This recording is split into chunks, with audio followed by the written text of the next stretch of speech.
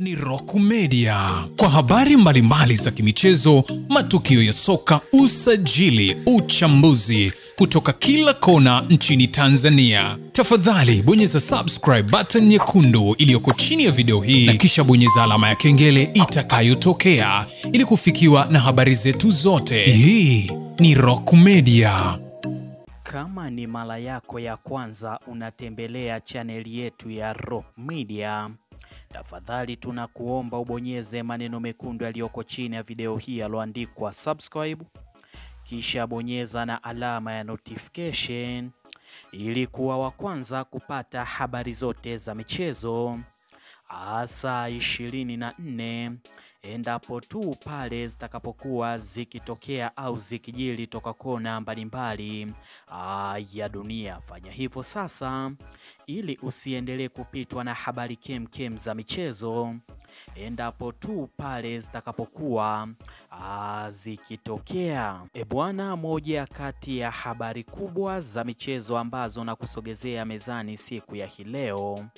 zikitoka ndani ya klabu ya soka ya timu yekundu ya Msimbazi uh, Simba Sports Club, ambapo tunafahamu ya kwamba klabu ya soka ya timu yekundu ya Msimbazi Simba Sports Club. Hivi sasa iko pale nchini Misri ikijiandaa na msimu mpya wa mwaka 2024 2025 huku afisa habari wa klabu ya soka ya Simba Sports Club Bwana Ahmed yali aliweza kusema ya kwamba Simba Sports Club ikiwa pale nchini Misri itaenda kucheza michezo takriban uh, mitatu ambayo michezo hii itakuwa ni michezo ya kirafiki yani international friend mechi, ili kocha mkuu wa klabu ya soka ya Simba Sports Club aweze kupata kikosi chake cha kwanza bora ama first 11 ambacho kikosi hiki ataenda kukitumia msimu wa mwaka 2024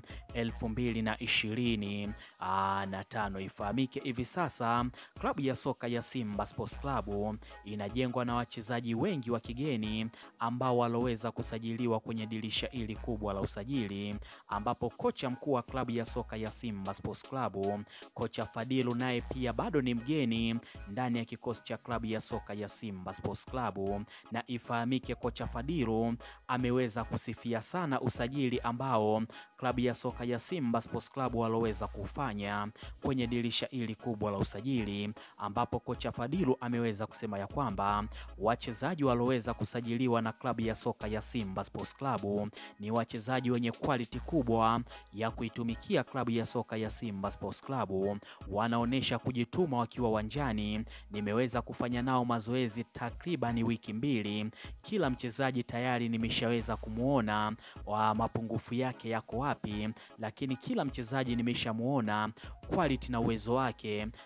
uko wapi. Ama kwa hakika klabu ya soka ya Simba Sports Club imeweza kufanya usajili mzuri. Nina imani kwa usajili huu kombe la ligi kuu soka Tanzania bara msimu wa mwaka 2024 tutaenda kulibeba pasina kuwa na wasiwasi aa, yoyote, lakini tunafahamu ya kwamba afisa habari wa klabu ya soka ya Simba Sports Club Bwana Ahmed Ali aliweza kusema ya kwamba wakiwa pale nchini Misri, klabu ya soka ya Simba Sports Club itaendelea kuwatambulisha wachezaji ambao waloweza kuwasajili, ambapo kuna wachezaji takriban sita wameweza kusajiliwa lakini bado hawajaweza kutambulishwa ndani ya klabu ya soka aa, ya Simba Sports Club. Kati ya hawa wachezaji sita, wachezaji wawili ni wazao wa Kitanzania na wanatokea ndani ya ligi kuu soka Tanzania bara, lakini wachezaji wa nne ni wachezaji wa kimataifa wakitokea kwenye nchi tofauti tofauti ndani ya bara letu hili la Afrika,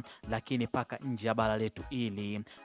la Afrika. Sasa tunafahamu ya kwamba klabu ya soka ya Simba Sports Club hii leo kupitia kwenye mitandao yao mbalimbali ya kijamii waliweza kusema ya kwamba wataenda kumtambulisha mchezaji wao mpya wa kimataifa ambaye anakuja kuchukua nafasi ya mtu ndani ya kikosi cha klabu ya soka ya timu yekundu ya Msimbazi aa, Simba Sports Club. Sasa mimi na wewe tulikuwa bado hatujaweza kufahamu ni mchezaji yupi kati ya wale wachezaji wanne wa kimataifa ambao wataenda kutambulishwa siku ya hii leo ndani ya klabu ya soka ya Simba Sports Club, na muda huu klabu ya soka ya Simba Sports Club imeweza kumtambulisha rasmi MVP na top scorer kutokea pale nchini Argentina. Hapa hivi namzungumzia Asa Salex mwenye umri wa takriban miaka ishirini na tatu, mzaliwa pale nchini Argentina ambaye ameweza kuibuka top scorer wa ligi yao kutokea pale nchini Argentina.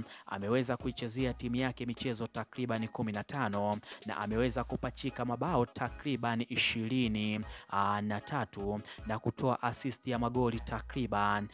saba. Arthur Salex ameweza kujiunga na klabu ya soka ya Simba Sports Club kwa mkataba wa takriban miaka mitatu. Arthur Salex atakuwa akilipwa kitita cha shilingi takriban aa, milioni 30. Ifahamike klabu ya soka ya Simba Sports Club imejipanga sana kwenye dirisha hili kubwa